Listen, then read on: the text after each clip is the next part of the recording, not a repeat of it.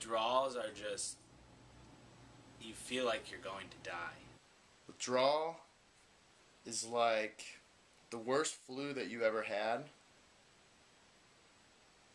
but times it by a hundred, I'd say.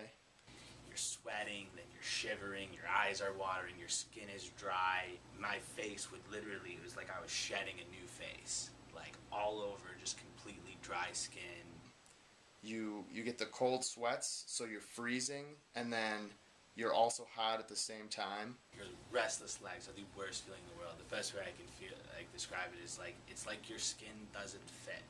Like you just want to like crawl out of your body. You just want to literally jump out of your skin. You can't. There's nothing you can do to be comfortable. You could be lying in a bed with comfy pillows, and that's not comfortable. You you you can't. You don't want to sit. You don't want to stand. When you're withdrawing, it's actually the one time that you that you don't have the energy to go and get high and use because you're so you all of your energy is deprived I didn't sleep for seven days.